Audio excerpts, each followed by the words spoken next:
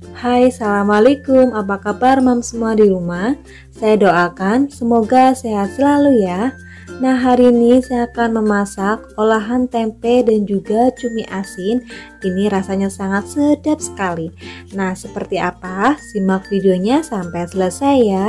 Dan jangan lupa buat moms di rumah yang belum subscribe di channel ini Subscribe dulu ya. Terima kasih. Nah di sini saya sudah menyiapkan ini ada 250 gram cumi asin. Selanjutnya di sini cumi asinnya akan saya rendam menggunakan air panas. Ini tujuannya untuk mengurangi rasa asinnya atau garamnya ya. Ini direndam kurang lebih 15 sampai 20 menit. Selanjutnya nanti akan saya bilas kembali menggunakan air bersih dan bahan kedua tentunya di sini ada tempe sebanyak satu papan Lalu di sini tempenya saya potong memanjang terlebih dahulu seperti ini. Nah, setelah selesai dipotong memanjang, nanti di sini tempenya akan saya potong-potong kembali. Nah, ini saya potong kotak uh, dadu ya seperti ini. Ini untuk potongannya bisa disesuaikan dengan selera masing-masing ya, Mam. Nah, ini sudah selesai. Selanjutnya ada 8 cabai hijau. Nah, di sini cabai hijaunya akan saya potong bulat. Ini yang pengen pedas. Cabai hijaunya jumlahnya bisa ditambahkan ya, Mam. Untuk jumlahnya disesuaikan dengan selera masing-masing ya. Lalu saya tambahkan ada tiga buah tomat hijau dan di sini tomatnya akan saya potong-potong saya belah dulu jadi dua bagian lalu saya potong-potong kecil seperti ini ya. Ini tomat hijaunya masih sangat fresh masih masih muda sekali ini ya. Lalu ada 5 siung bawang merah. Ada 3 siung bawang putih. Ada dua butir kemiri. Lalu ada 5 cabai rawit ada satu ruas jahe ada seperempat sendok teh merica bubuk. Nah di sini saya tambahkan minyak kurang lebih 2 sendok makan. Nah ini bumbunya akan saya haluskan terlebih dahulu ya mam. Nah ini dia hasilnya kira-kira seperti ini ya setelah dihaluskan Lalu cumi asin yang tadi sudah saya bilas menggunakan air bersih. Nah, di sini cuminya akan saya potong-potong bulat seperti ini ya. Ini tujuannya biar nanti dimasak jadi tidak terlalu kebesaran ya, Mam. Nah, ini semuanya sudah selesai saya potong-potong. Ini akan saya sisihkan terlebih dahulu. Lalu di sini saya sudah menyiapkan minyak panas. Masukkan tempenya terlebih dahulu ya. Ini tempenya digoreng sampai berwarna kecoklatan ya, sampai crispy. Nah, ini saya masukkan semua tempenya ke dalam minyak panas. Jangan lupa diratakan ya seperti ini biar semua bagian tempenya itu terkena dengan minyak panas dan jangan lupa sekali sering diaduk-aduk ya mam biar matangnya tuh merata dan juga biar di bawahnya tuh tidak gosong ini digoreng dengan api sedang ya jangan terlalu besar apinya. Nah ini saya aduk dulu biar matangnya tuh benar-benar merata. Ini sebagian sudah ada yang berwarna kecoklatan ya sudah uh, crispy. Lalu di sini saya angkat tempenya karena ini sudah matang ya mam Nah ini sudah selesai, saya goreng semua tempenya. Ini akan saya sisihkan terlebih dahulu. Selanjutnya di sini saya sudah menyiapkan minyak panas. Lalu masukkan bumbu yang tadi sudah dihaluskan ya.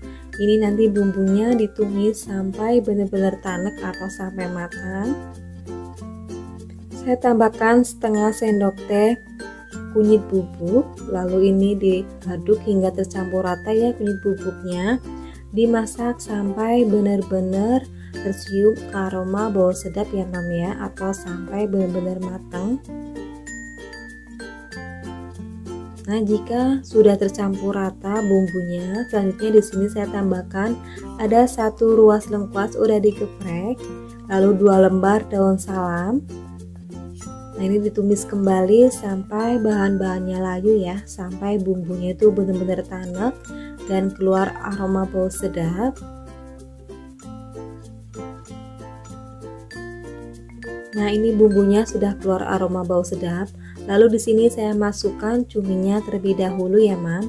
Ini nanti cuminya dimasak lebih awal karena teksturnya masih agak keras atau masih mentah ya. Ini saya aduk hingga tercampur rata cuminya dengan bumbu.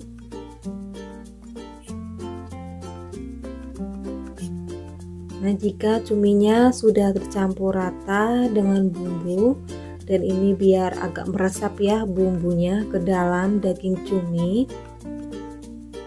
Selanjutnya masukkan tempe yang tadi sudah digoreng.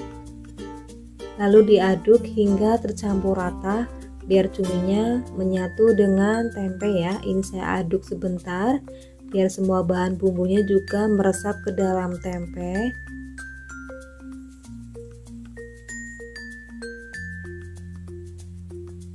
Nah, ini sudah tercampur rata, bumbunya juga sudah meresap.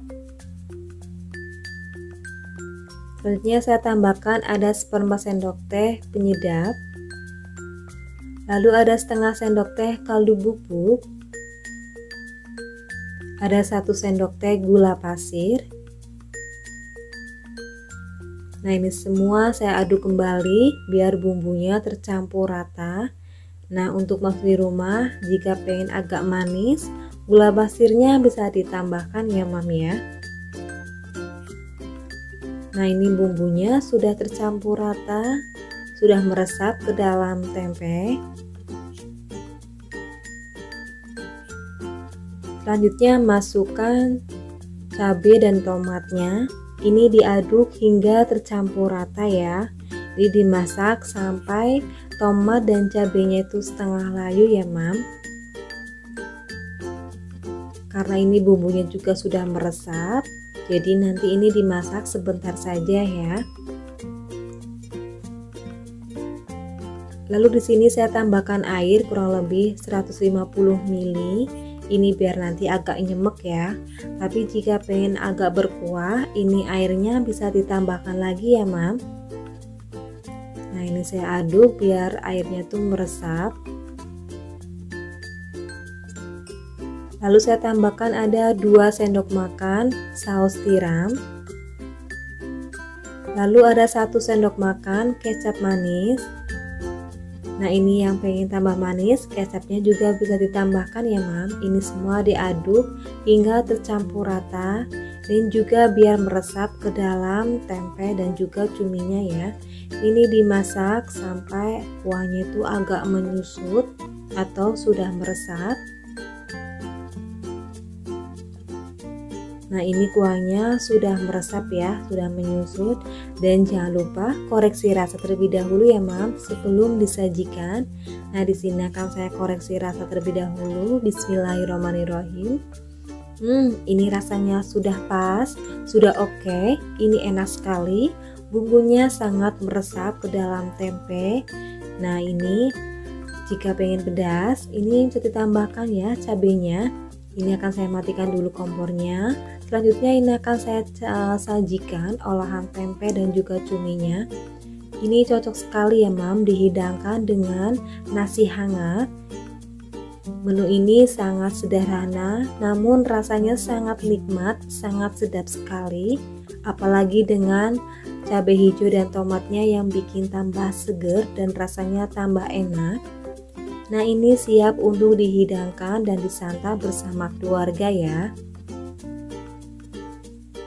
Nah maps di rumah wajib mencobanya ya. Menu ini sangat andalan untuk keluarga saya karena menu ini sangat simple dan juga rasanya sangat enak, sangat sedap sekali. Nah maps di rumah wajib mencobanya ya dan terima kasih. Semoga video ini bermanfaat. Wassalamualaikum warahmatullahi wabarakatuh